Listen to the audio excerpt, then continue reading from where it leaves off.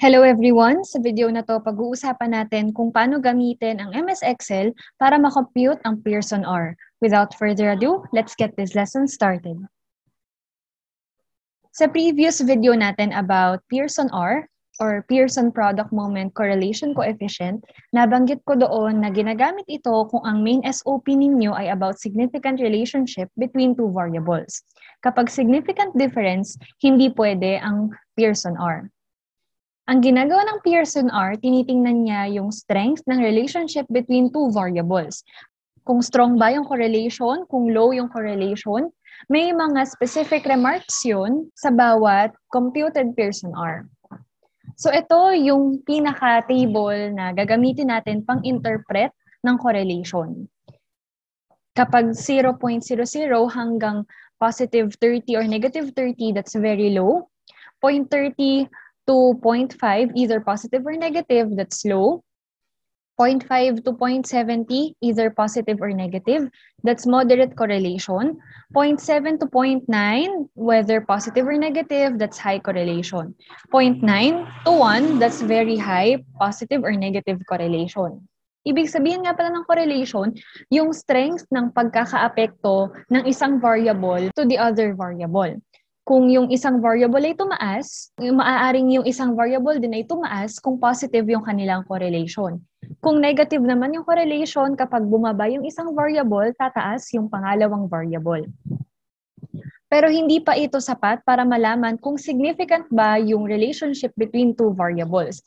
Kaya gagamit pa tayo ng t-test for correlation. Ang ginagawa ng t-test for correlation, hinahanap niya kung ano yung p-value para sa Pearson R.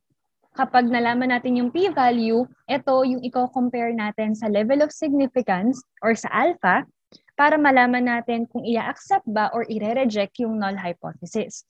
Ililink ko sa baba sa description box yung site kung saan ako nagko-compute or nagka-calculate ng p-value para sa Pearson R. Kaya kung ikaw ay may sariling study na kailangan ng Pearson R, after mong magamit ang Excel, click the link na nasa description box para malaman mo yung p-value ng Pearson R mo. Kung ang p-value mo ay mas malaki kaysa sa alpha, you have to accept the null hypothesis. If your p-value is lower than the alpha, you have to reject the null hypothesis. Example, ito yung SOP na sample natin para sa video na to. So may perception ng students sa factors affecting their motivation in terms of additional grades, verbal praises, and peer appreciation. Tapos hiningi din sa SOP2 yung academic grade nila during the first semester. Pagdating sa SOP3, titingnan natin yung significant relationship between sa kanilang perception sa factors affecting their motivation at yung kanilang academic grade. Or in other words, ire-relate natin, ire-relationship natin yung SOP1 sa SOP2. Bago tayo magpunta sa Excel file na naglalaman ng results ng ating survey, ito muna yung sample table na gagamitin natin pang report. Itong unang column natin ay para sa naunang SOP which is the factors affecting motivation. Tatlo yung kanyang subparts. Dahil tatlo yung kanyang subparts, we expect three rows in this table. Academic grade, paulit-ulit lang na academic grade kasi dyan naman natin i-relate. Wala naman tayong ibang pagre-relatean sa academic grade. At itong R value, ito yung i-compute natin na Pearson R. Itong P value, ito yung gagamitan natin ng p-value calculator na nasa description box yung link. Remarks, ito yung nagsasabi sa atin ng interpretation ng R value. Kung low ba yung correlation, low positive or low negative correlation, ilalagay natin yun dito. And then yung decision, i-compare natin yung p-value dito sa ating level of significance na 0.05, which is two-tailed. Nangyayari ang two-tailed kung ang null hypothesis mo ay there is no significant relationship. So, laging two-tailed kapag ganun. Punta na tayo sa Excel file. Ang nakikita nyo ngayon ay responses ng mga participants tungkol sa kanilang additional grades. Ito yung unang statement, statement 1, statement 2, 3, 4, 5 na nasa questionnaire na tungkol sa additional grade.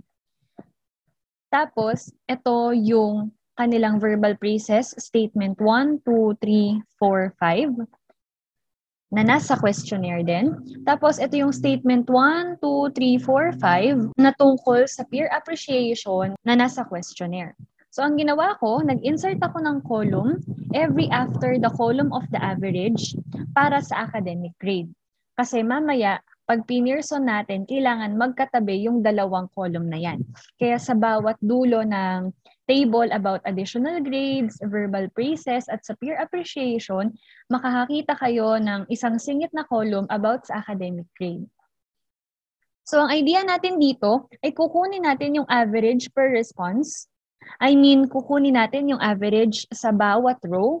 Tapos, itong yellow column, ipipirso natin dito sa academic grades. Yun yung para sa relationship ng additional grade at academic grade. Para naman sa verbal praises, ganun din. Kukuhanin natin yung average ng bawat isang respondent sa kanilang mga tanong, tapos i-correlate natin yon sa kanilang academic grade. At ganun din sa peer appreciation. Gagamit tayo ng formula na average. Type nyo lang dun sa cell average. Tapos open parenthesis, iha-highlight nyo yung limang responses nila sa limang tanong. Tapos close parenthesis and then enter. And then, just click on the lower right corner of the cell para mag, maging plus yung cursor natin.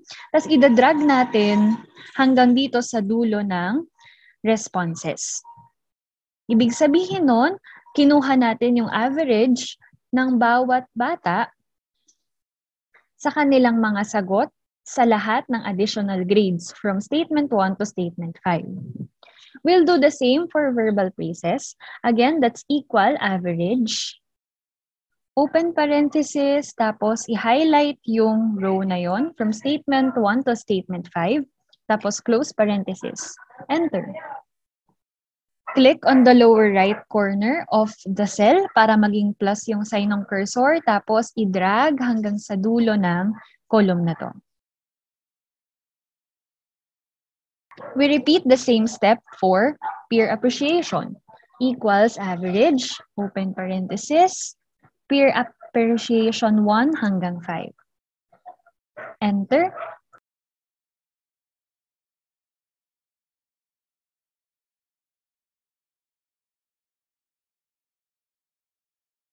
Ayan, so we're ready for Pearson R. I-click itong data tab tapos, recall na in-install na natin yung analysis toolpack. Click lang natin yan. Tapos, kapag bumukas yung dialog box, i-click natin yung correlation. And then, okay. And then, i-click itong button na to, itong arrow. Kapag kinlik mo to, you will be able to select the input range. Ibig sabihin, itong average, saka academic grade, iha-highlight natin sila. Ito yung reason kung bakit magkatabi dapat sila kasi yun yung requirement ni Pearson sa Excel. Tapos, click ulit itong maliit na arrow. And then, i-check natin yung labels in the first row. Ang ibig sabihin kasi nun, yung atin daw first row, hindi siya kasama sa responses, kundi label lang siya. And then, click lang natin itong new worksheet fly. And then, okay. So, magkakaroon ng panibagong worksheet, tapos nakalagay dito yung correlation. Ang kukuhanin natin ay yung number na hindi 1, 1. Ito na yung Pearson R natin. Negative 0.006 ang Pearson R natin para sa academic grade at sa average ng additional grade. We'll do the same para sa ibang subparts ng factors ng motivation.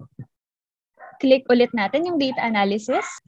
And then okay yung correlation. Pindutin ulit itong input range. Tapos ito namang green, column at academic grade ang iselect.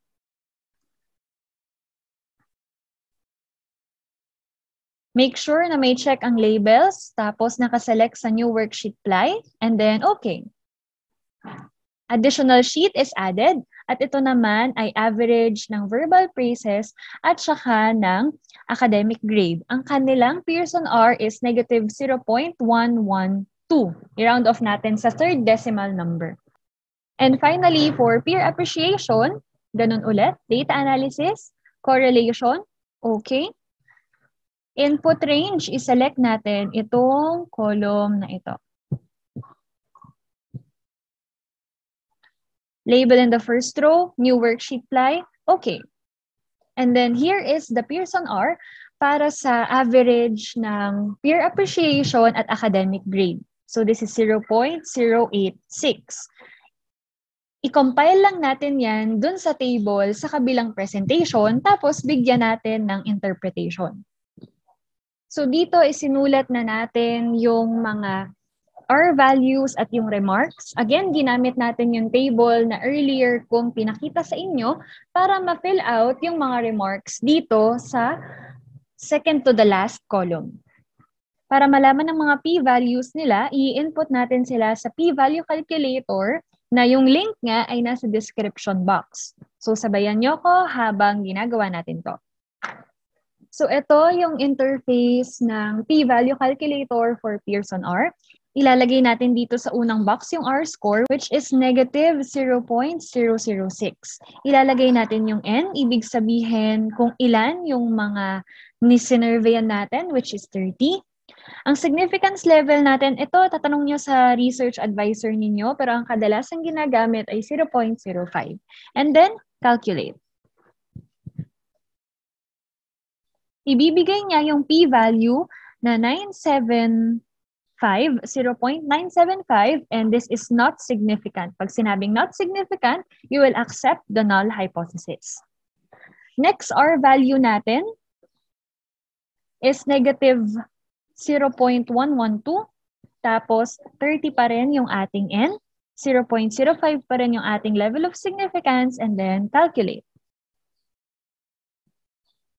For our second R score, ang ating p-value is 0.556. Tapos, accept pa din yung ating null hypothesis. And finally, for the last R value, we have 0.086, 30 pa din, 0.05 pa din, and then calculate. Its p-value is 0.651 at ang result ay not significant or accept pa din yung ating null hypothesis. At ito na yung kumpletong table ng ating significant relationship. Na ilagay na natin yung mga p-value at yung mga decision na accept null hypothesis. Ilalagay nyo na lang to sa chapter 4, tas lalagyan nyo ng textual narration sa baba or textual interpretation para ma-explain ninyo yung mga values na nandito sa table. Thank you for watching! If you learned from this video, please give it a huge thumbs up, subscribe to my channel, and hit that bell icon. See you on our next video.